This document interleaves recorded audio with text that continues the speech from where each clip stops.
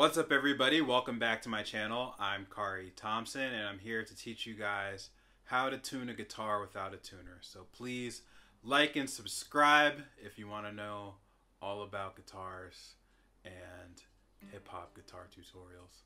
So let's get started, right? I'm going to teach you guys a very simple method called 55545. If you're an advanced player, you've heard of this a million gazillion years ago. It's literally page one, lesson one of, you know, some books.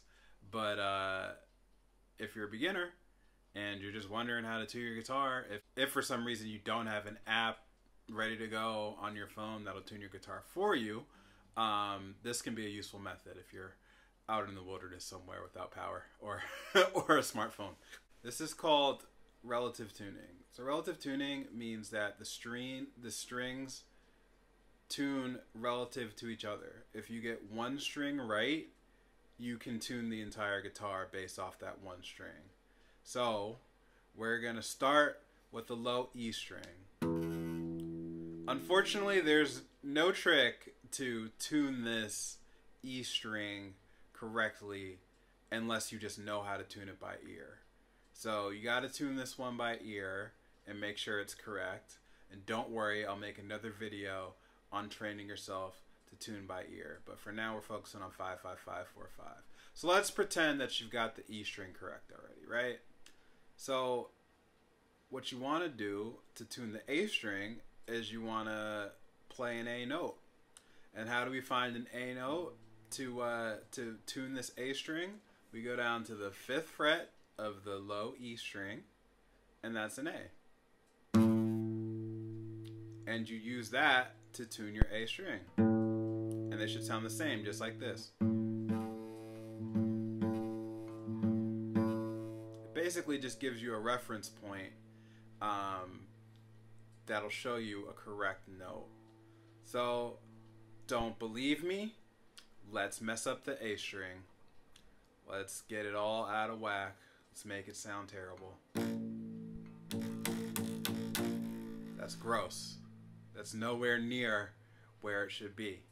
So what you want to do is you want to play this fifth fret of the E string and then you want to play the A string back and then you want to tune it till you get it right. So let's bring it up.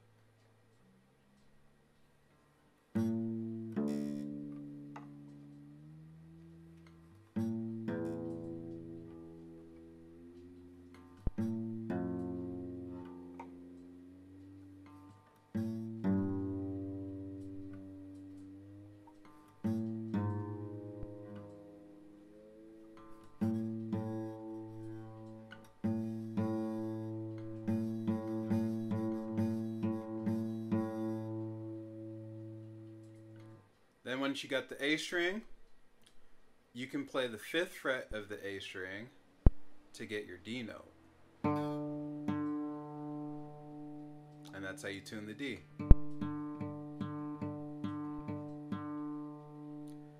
And then once you tune your D, play fifth fret of the D string to get your G.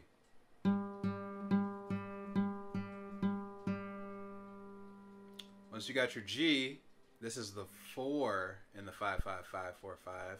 Go up to the fourth fret of the G string, and that's how you get your B. And then once you got your B, the way you get your E is you play the fifth fret of the B string, and you tune it relatively.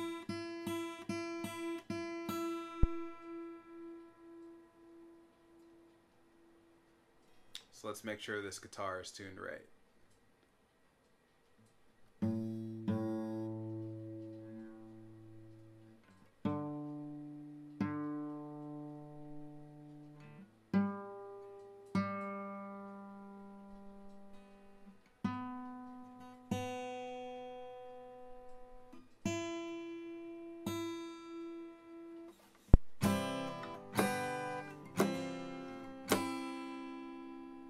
Hope you guys enjoyed this video. If you liked it, make sure to like and subscribe so you can get notifications whenever we drop new new tutorials teaching you guys cool stuff about guitars. It's a fun lesson. I hope you guys come back and hang out, and uh, we'll see you soon. All right, take care. Bye.